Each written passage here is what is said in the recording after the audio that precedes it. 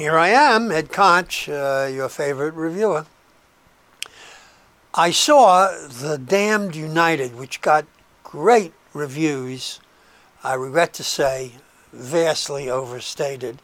And what was interesting is that when I uh, went on opening night, which was a Friday night, the theater was uh, near empty.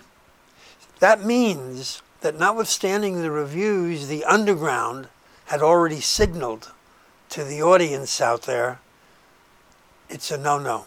Now, the uh, lead actor, Michael Sheen, who played uh, Tony Blair in The Queen and has done uh, David Frost in Frost and Nixon, um, I wanted to see him. I would have gone even if the reviews hadn't been uh, good.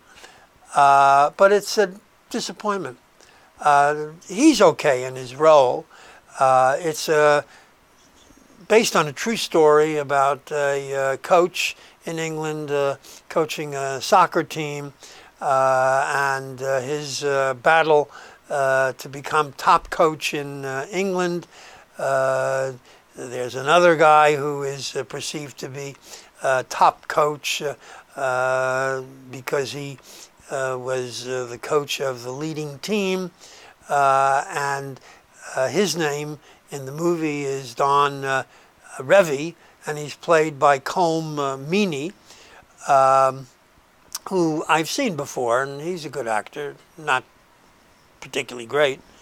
Uh, and without going into the details of uh, how uh, Michael Sheen's character uh, operates and loses because he uh, plays cleanly, uh, and the uh, team that he takes over, which had uh, been under the direction of uh, the best coach, as perceived by the public, Don Revie, who was retiring from that position.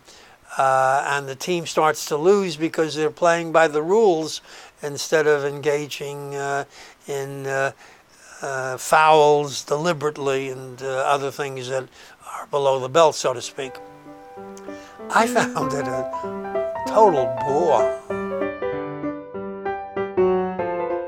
So this is a uh, movie that I will not recommend. It gets a minus.